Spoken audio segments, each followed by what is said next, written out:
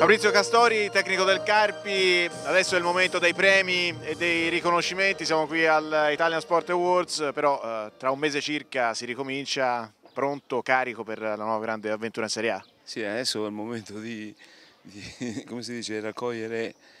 i premi e fare un po' di vacanza, poi ci si prepara, un mese passa subito a questa nuova avventura che non vediamo l'ora di iniziare e quindi niente, aspettiamo con entusiasmo l'inizio della nuova stagione. È un momento in cui si parla molto di panchine in Serie A, il Carpi la sua panchina ce l'ha al sicuro, c'è stato il prolungamento del contratto fino al 2016. Sì, ehm, abbiamo allungato il contratto per questa stagione e sono molto contento di ricominciare con una società e un ambiente che conosco bene, una squadra che ho allenato e mi hanno dato grosse soddisfazioni, quindi abbiamo creato un gruppo eh, unito, valido e soprattutto di volontà e di impegno, che è la cosa che più conta, e di serietà nel lavoro.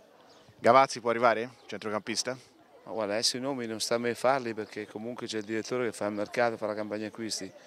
poi se ne fanno tanti di nomi, è inutile stare a dire questo singolo no c'è il direttore che pensa a fare il mercato, abbiamo tracciato le, linee guida eh, che devono essere quelle della stagione passata, cioè nessun, eh, nessuna prima donna, tutti i giocatori che hanno voglia di lavorare, eh, che si diciamo, mettono a disposizione della squadra, che è quello che più conta della squadra, non è certo il singolo, quindi devono essere ragazzi giovani o, o perlomeno che hanno questa volontà di fare un campionato importante come quello di Serie A col massimo impegno e senza nessun grillo per la testa. Ecco, a un paio di mesi eh, dall'inizio del campionato, un po' meno, dall'inizio del campionato le sensazioni sono buone, come se lo immagina questo campionato di Serie A? Noi vogliamo riconfermare più o meno, vogliamo mantenere più o meno lo spirito della passata stagione che è stato vincente per noi, puntare sui giovani, puntare su una squadra di, che crea intensità, che gioca un calcio diciamo, verticale, è stata per noi una scelta vincente, la vogliamo mantenere, non ci discosteremo questo, da questo trend qui, quindi poi il fatto che si fa in Serie A c'è ancora una motivazione forte come quella che dicevo prima, sarà per noi una sfida pazzesca, però siamo abbiamo l'entusiasmo addosso, non vediamo l'ora tutti di poterla cominciare questa avventura. Finale playoff eh, tra Bologna e Pescara, chi è favorito? Favorito in una finale non ce n'è mai perché